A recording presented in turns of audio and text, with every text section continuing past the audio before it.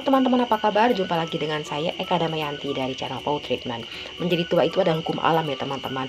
Setiap makhluk yang bernyawa pasti akan mengalami apa yang dinamakan penuaan. Baik itu manusia, uh, tumbuhan, hewan, termasuk juga anjing Nah, uh, dikatakan dari sumber bahwa anjing itu sudah mulai mengalami proses penuaan, mengarah ke proses penuaan apabila dia telah berusia antara 6 sampai dengan 7 tahun.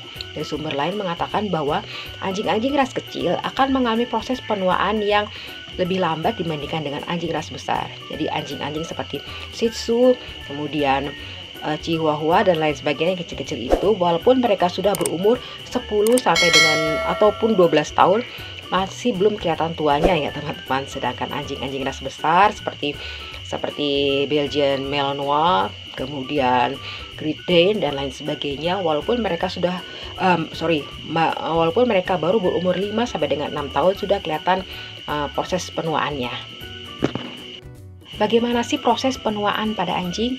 Nah, proses penuaan pada anjing, eh, kalau saya perhatikan ya teman-teman, ciri-cirinya mirip-mirip dengan proses penuaan pada manusia. Apakah itu? Seperti eh, dia akan lebih mudah lelah, tidak seaktif biasanya, lebih banyak menghabiskan waktu dari untuk tidur daripada untuk beraktivitas fisik. Akan mengalami penurunan metabolisme tubuh. Kemudian kekuatan uh, panca inderanya akan uh, sedikit agak menurun dibandingkan waktu mereka masih muda. Kemudian akan mengalami apa yang namanya penuaan sel akan mengalami permasalahan pada persendian dan juga otot dan dan biasanya anjing senior juga akan mengalami penurunan fisik. Mereka juga sering tampak linglung atau bingung, suka mengompol, giginya rusak, kemudian mengalami penebalan kulit, bulunya mudah rontok dan mudah uh, dan mudah juga lelah ya teman-teman. Perawatan dengan baik dan seksama pada anjing peliharaan kita akan me, akan memperlambat proses penuaan dan akan membuat hidup si anjing itu akan lebih nyaman ya teman-teman uh, dibanding apabila tidak dirawat. Yang pertama, rajin-rajinlah mengajak uh, anjing senior kalian untuk melakukan aktivitas fisik. Tidak perlu aktivitas fisik yang berat-berat ya, seperti waktu mereka masih muda. Cukup aktivitas fisik yang sederhana, yang ringan, tapi bermanfaat untuk kesehatannya. Apakah itu uh, seperti berjalan-jalan santai, keliling uh, keliling halaman rumah ataupun uh, mengajak uh, anjing berlari kecil, bermain lempar tangkap bola jalan-jalan di pantai dan lain sebagainya. E, di mana aktivitas fisik ini selain untuk menjaga kesehatan dan kebugaran tubuh dari si anjing senior kita dapat juga untuk menghalangi atau mencegah apa yang dinamakan obesitas atau kegemukan pada anjing. Ciptakan lingkungan yang nyaman dan bersahabat bagi si anjing senior.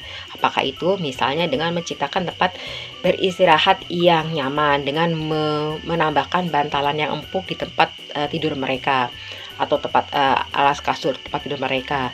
Uh, dekatkan tempat makanan dan minuman uh, bagi si anjing senior kita agar si anjing lebih mudah untuk mengambilnya atau untuk mengkonsumsinya. Kemudian yang ketiga adalah uh, yang perlu diperhatikan adalah uh, asupan gizi dan porsi makan si anjing senior. Perhatikan bahwa uh, pada anjing-anjing senior mereka tidak tidak terlalu membutuhkan banyak kalori, tapi gantilah dengan uh, protein ya teman-teman. Jadi perbanyaklah protein dibandingkan uh, kalori. Mengapa?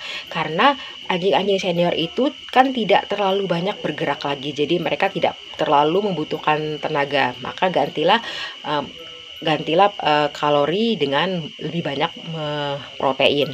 Kemudian kemudian uh, berikan makanan yang mudah dicerna bagi si anjing. Jangan yang terlalu keras ya teman-teman karena pada umumnya anjing senior itu kan giginya sudah mulai banyak yang banyak yang permisi ya maka um, berikan makanan yang gampang mereka untuk uh, mengunyahnya dan uh, dan yang perlu diperhatikan juga perhatikan porsi makan si anjing jangan berikan porsi makanan terlalu besar. Mengapa? Karena porsi makanan terlalu besar dapat mengarah pada obesitas. Cukupnya saja ya teman-teman, tidak terlalu sedikit tapi tidak juga terlalu berlebihan. Rutinlah menjaga kesehatan uh, mata, gigi, hidung, mulut, uh, kuku, bulu maupun kulit dari si anjing senior. Mengapa? Karena karena penyakit biasanya dapat terindikasi dari dari ini ya teman-teman dari mata, hidung maupun telinga e, dan lain sebagainya dari si anjing senior.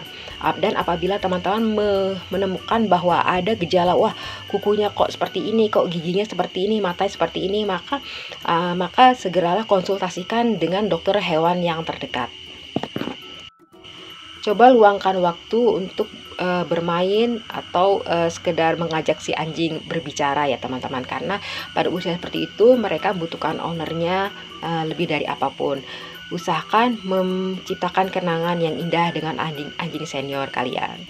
Demikian teman-teman video kali ini. Semoga bermanfaat. Kurang lebihnya saya mohon maaf. Apabila teman-teman suka dengan video ini mohon eh, minta like-nya. Dan bagi yang belum subscribe mohon di-subscribe dan uh, apabila teman-teman suka juga mohon di share ke media sosial milik teman-teman. Terima kasih banyak. Dadah